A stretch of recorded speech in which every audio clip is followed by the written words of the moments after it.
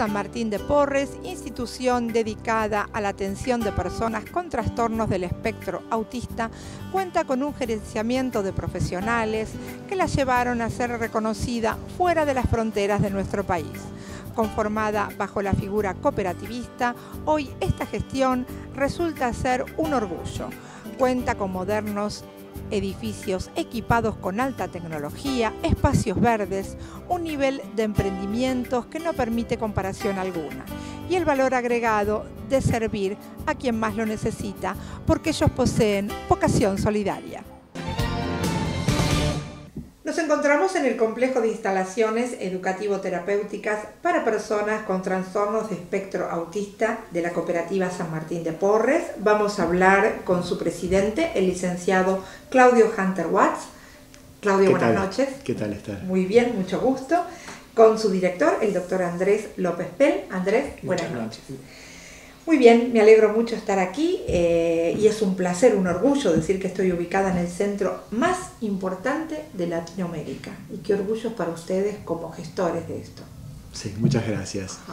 Ahora, eh, esta importancia, ¿no? A, llevarlos a ser eh, la entidad más importante en Latinoamérica. ¿Por qué se da, Claudio?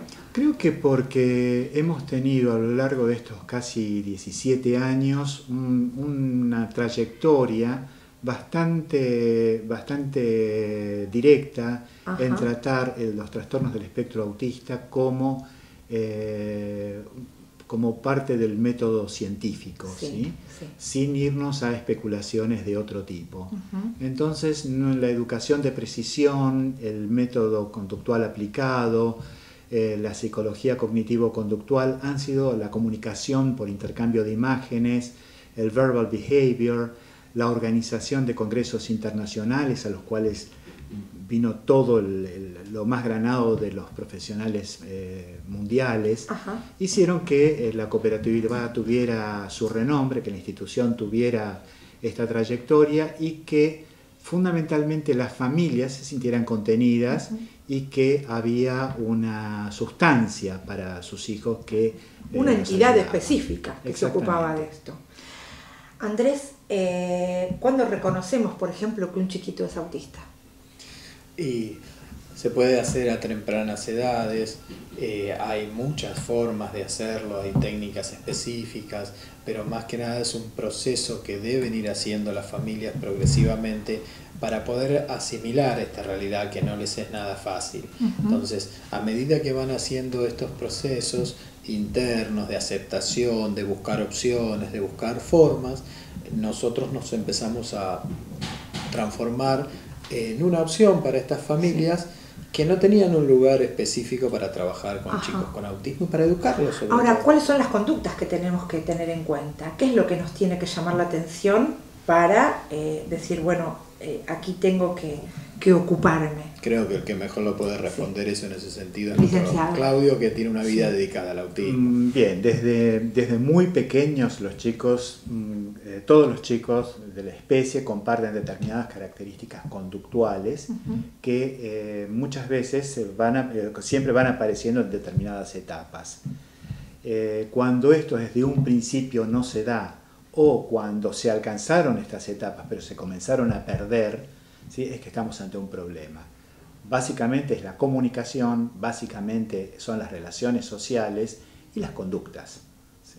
Entonces, cuando están las dos, las dos propuestas, esto no se, no, no se desarrolló cuando debía desarrollarse o cuando se empezó a desarrollar se cortaron y el chico involucionó en estas conductas no quiero ser muy técnico, pero el chico con problemas de comunicación, con eh, estereotipias, ¿sí? niños que eh, tardan o no pueden fijar la mirada, sus conductas son disruptivas, este, son conductas muy solitarias, juego solitario, no hay juego social, no hay comunicación, es cuando muy tempranamente los padres se dan cuenta.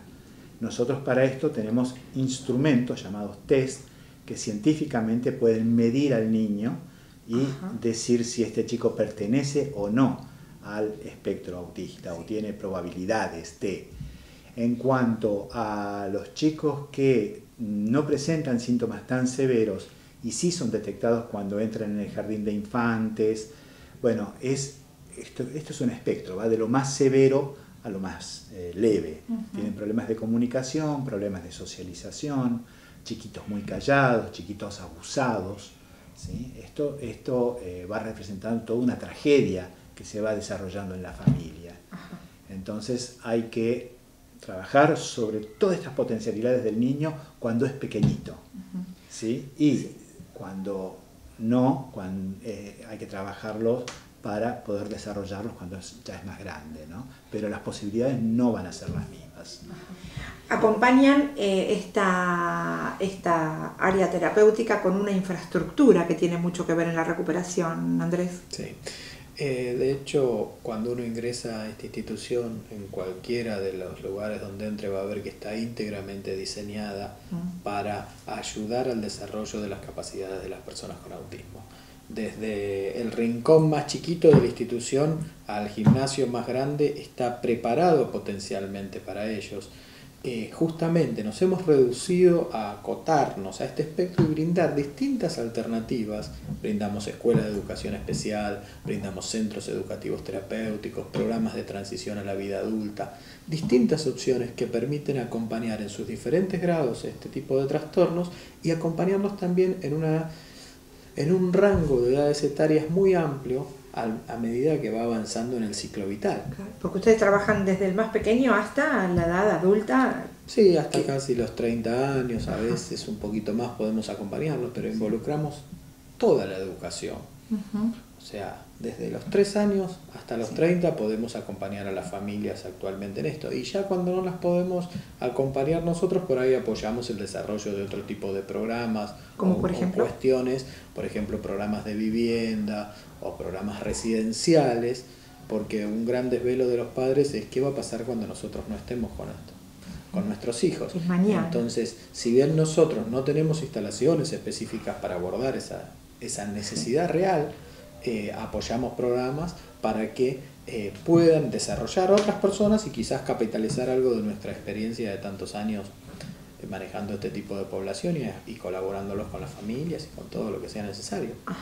Cuando uno toma este tema a tiempo, ¿cuáles son las posibilidades de recuperación, Claudia? Sí, son variadas, ¿sí? cada caso es distinto. El, autismo no es algo que uno puede decir es como la varicela, ¿no? Cada caso es particular y también la dedicación que los, tanto los, profesionales como la familia ponga en esto. Es un trabajo en equipo. Exactamente. Hace que la intensidad y el trabajo eh, desarrollado a través de muchas horas, más la continuidad en la casa, hoy por hoy dan las mejores perspectivas. O sea, muchos chicos mm, salen de San Martín de Porres y van a la escuela común. Hay otros chicos que ya directamente están ingresando en la universidad, o sea, hacen el, el, primario, el kinder, el primario, el secundario acá, y ya después pueden ingresar en la universidad. Tenemos chicos que están en la Universidad de Tucumán, pues tenemos un San Martín de Porres en, en Yerbabuena, en Tucumán, que es la institución para chicos con autismo más importante del interior del país también. Es decir, que acá estamos ubicados en Isidro Casanova y hay una filial, sería una delegación en eh, San Miguel de Tucumán. Exactamente, hay una sede, decimos. Una sede, tenemos una sede también en, la ciudad de Buenos Aires, en Palermo, tenemos otra sede acá enfrente en, en la calle Lascano, que es un centro educativo terapéutico, tenemos otra sede en la calle Atenas, que es el Centro para Chicos eh, Adultos, el programa de transición a la vida adulta. Tenemos la otra parte de la sede de allá, que es el Kinder, o sea, no están todas atomizadas, todas este, nucleadas. Eh, están bien demarcadas. Están demarcadas, exactamente, para que eh, estas etapas sean cumplidas sin un apelotonamiento. ¿no? Como que cada uno tenga su espacio, ¿no? Y aparte, algo que mencionó Andrés, que es la, eh, el nivel tecnológico en la educación, hoy por hoy es muy importante, eh, ¿no? El tener toda la, todas, las, todas las sedes están digitalizadas, las aulas tienen pantallas electrónicas, tienen computadoras, los docentes se manejan con iPads permanentemente, el sistema de comunicación alternativo aumentativo es muy importante. Es decir, que estamos hablando de tecnología de avanzada. Exactamente, tecnologías de avanzada y sistemas educativos de avanzada, como es este, el, método Teach, que lo tenemos que aprovechar porque trabajamos necesariamente en grupos,